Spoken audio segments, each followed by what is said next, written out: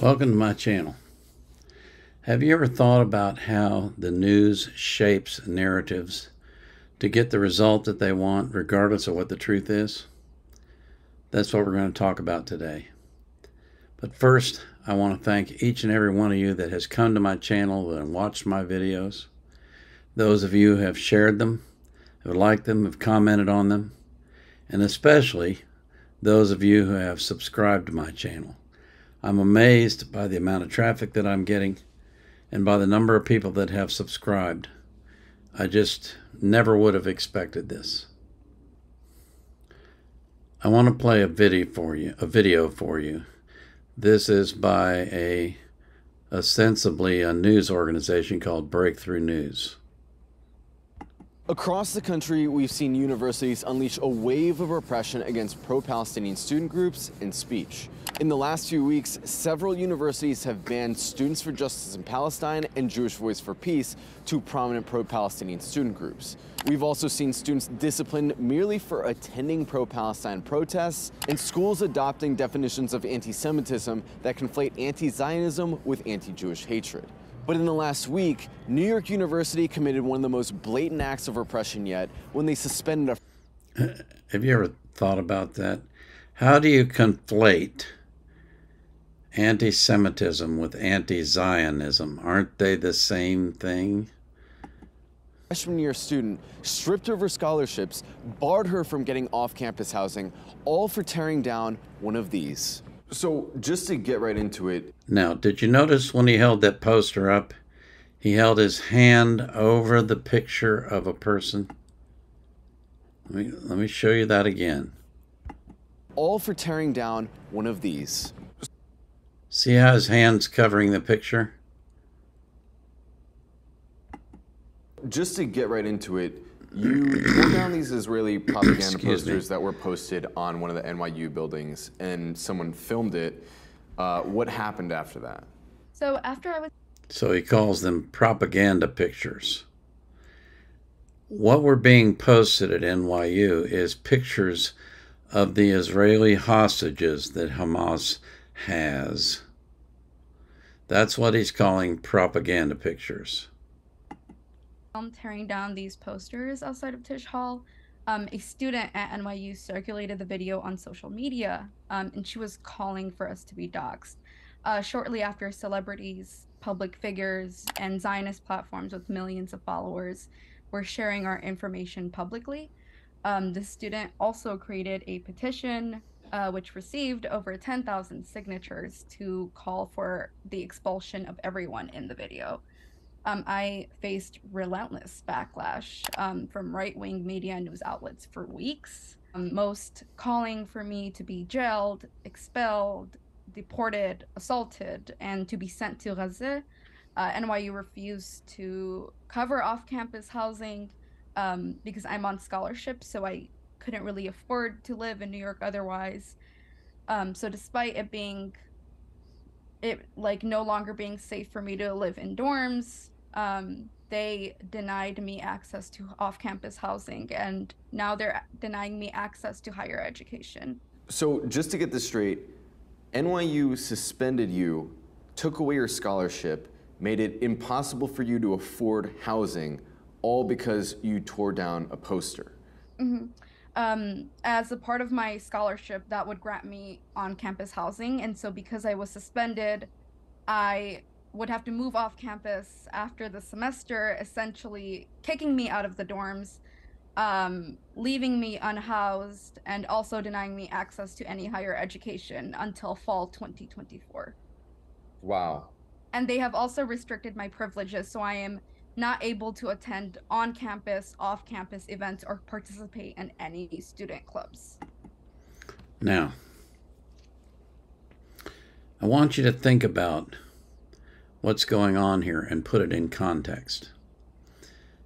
Let's pretend that we're back in 1939 and you have just found out about Kristallnacht. If you don't know what that is, Google it. And you have someone who's posting pictures of the people that were killed and kidnapped during Kristallnacht, and then you have someone like this tearing those pictures down, claiming they're propaganda. No, they're not propaganda, they're evidence. They're evidence of crimes that were committed. Hamas has committed horrendous crimes, and for that they should receive opprobrium from the entire world. But they won't. There's a certain percentage of the world that will support the Palestinians no matter what they do. They insist that the crimes that Hamas committed were merely a protest response to what Israel's been doing to them. You you can't you cannot imagine what this would be like if we were talking about Nazi Germany. But we're not talking about Nazi Germany.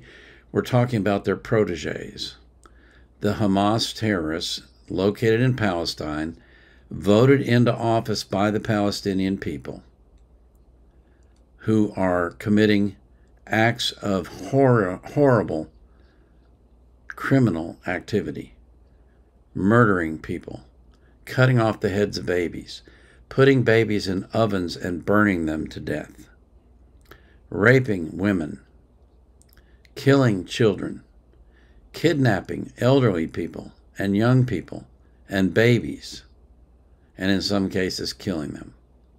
That's what we're talking about.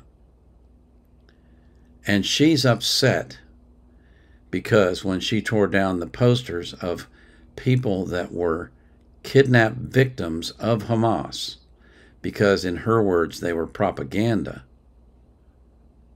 she got a backlash. it's amazing to me. It's absolutely amazing to me. If you read through this article, and I'll put a link to the video and a link to the article uh, in the description.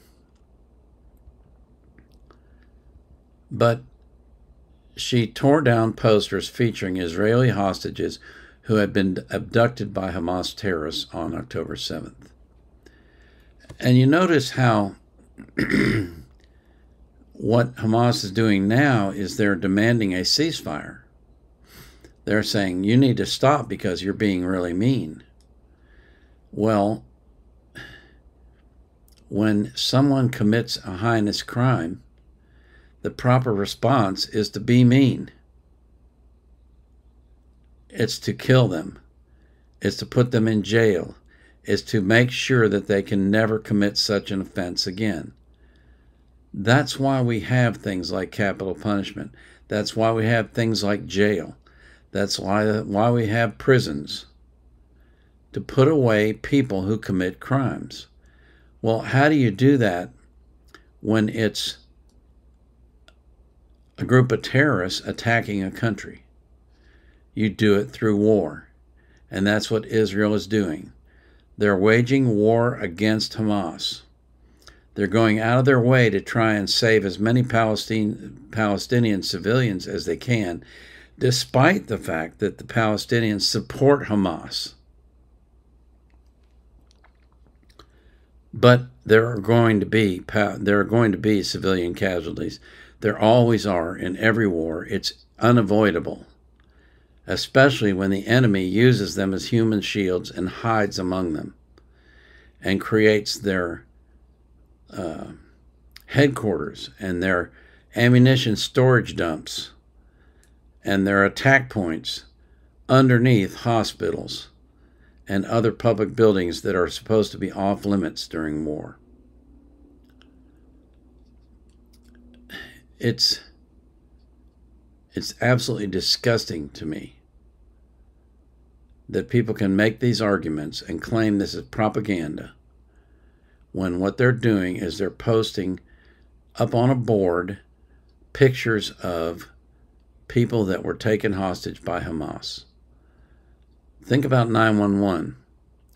What happened after 911? people came down to the site and they posted pictures of their loved ones. They hoped that they had survived and they posted pictures of them. But almost 3,000 died. But they held out this slender thread of hope that somehow, some way, their loved one would be found alive. That's what's being done by posting these posters. And she says they're propaganda and wants them torn down. They're not propaganda. They're evidence of the crimes that Hamas committed, and she doesn't want those crimes exposed. And she's suffering the consequences of her actions, as well she should. Society should shun every single person who supports Hamas. Every single one. Every person who says, From the river to the sea, Palestine shall be free, should be shunned by the good people, by people with principles and ethics. They won't be shunned by evil people, they'll be celebrated because evil always celebrates evil. but the job of we as citizens of this country and as honest and good people is to stand up for the right and to condemn the wrong in no uncertain terms and to do it loudly and do it repeatedly and do it publicly. And that's what the Americans are doing because Americans have recognized that what Hamas did is evil and unforgivable and should be punished. Rightfully so. Because that's the only way you put a stop to evil is by punishing it. As always, I pray that you, my viewers, and my subscribers will be abundant, that you'll live a long life, that you'll be healthy, and that God will keep you safe from harm. And I pray that God will do the same for every person that you love, those who you treasure in your heart. And I also pray that you'll be anxious for nothing, but in all things through prayer and supplication with thanksgiving, you will let your requests be made known to God. And the peace that passes all understanding will keep your heart and mind in Christ Jesus. This is the Vietnam era vet out.